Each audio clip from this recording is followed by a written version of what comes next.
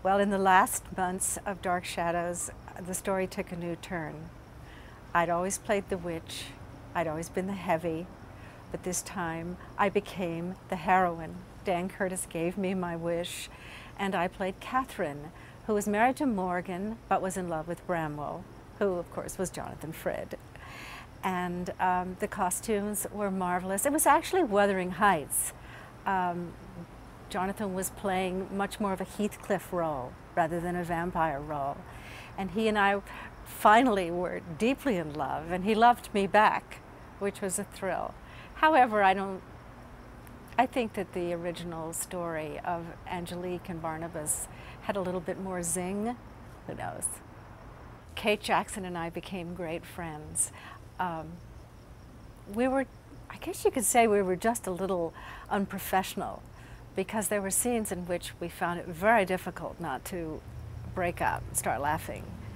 There's something about some of the lines you have to say on Dark Shadows that are so ridiculous that if you really thought about it for a minute, you wouldn't be able to keep a straight face.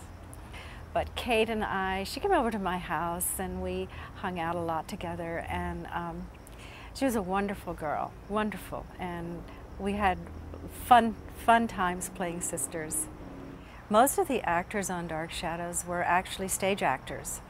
And I think that was responsible for the larger than life feeling that the show had.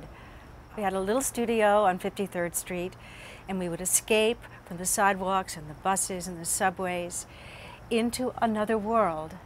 That was magical. It was like a dream. We had beautiful costumes, fabulous sets filled with antiques, wonderful lighting, strong characters that we played, uh, fabulous hairdos, and it was supernatural. So we were we had special effects. We were able to um, cast spells, um, die and be born again, uh, hang die, as I said, be stabbed, to be hit over the head, be buried alive, um, appear and disappear, set rooms on fire, uh, play several characters. Sometimes some of us had four or five different characters we played. We were like a little repertory company, a little horror repertory company.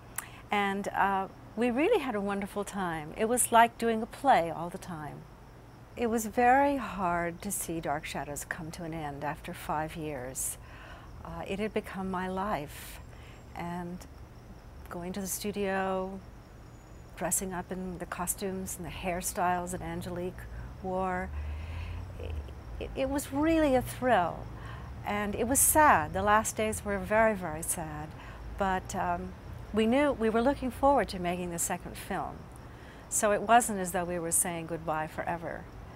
And truth be told, I really believed that I would go on to become a major movie star, that Dark Shadows would be the stepping stone to great things as soon as I got to Hollywood. And little did I realize that it was the high point of my career, that it was probably one of the best breaks anyone could ever get. I played a wonderful character and I was so lucky to be able to be cast as Angelique.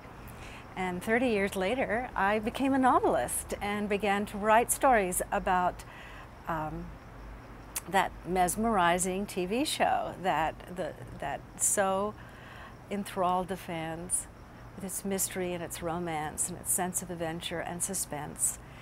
Um, and it has stayed alive through the conventions. We've had one every year, either in New York or Los Angeles, and we see thousands of fans who have never stopped loving Dark Shadows. And we've made lifetime friends with many, many of these people who come to the conventions. And um, so Dark Shadow and Dark Shadows still plays all over the world. So it's it's really never died. It's never left my life. Hi, I'm Lara Parker, and I loved playing Angelique on Dark Shadows. I've written a new novel that tells a story you've never seen. It's called The Salem Branch. Barnabas is embarking on a new life with his fiancee, Julia Hoffman. When he travels back in time to Salem and the witch trials in 1692, there he encounters his old nemesis, Angelique, in her original incarnation as Miranda Duval, the witch girl. I'm thrilled about this book. I'm so excited, and I know you will enjoy it. It's now available, and here's how you can order it.